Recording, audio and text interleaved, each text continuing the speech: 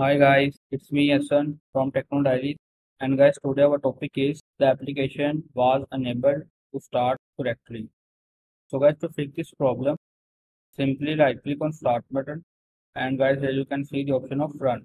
So simply click on it and now guys type here tmp and click on OK. Now guys after that here you can see some unwanted file. Select this all files and delete from here. And now guys go back to desktop page and guys after that open control panel.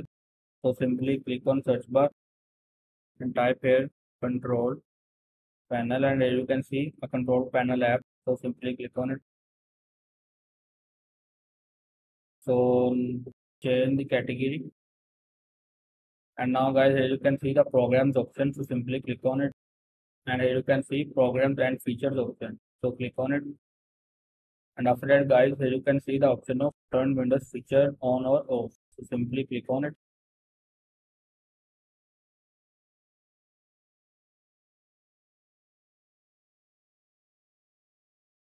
So guys here you can see the first folder netframe 3.5 so guys so simply check this folder and guys click on ok and as you can see search for required file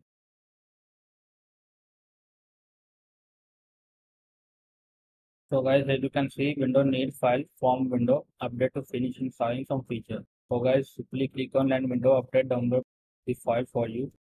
So guys, after downloading the feature, as you can see Windows completed the requested changes. So go back. And now guys, click on search bar and type here command prompt. So guys, open command prompt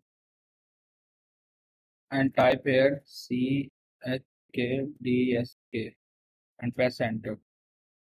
So guys, after that, close this and your problem will be fixed.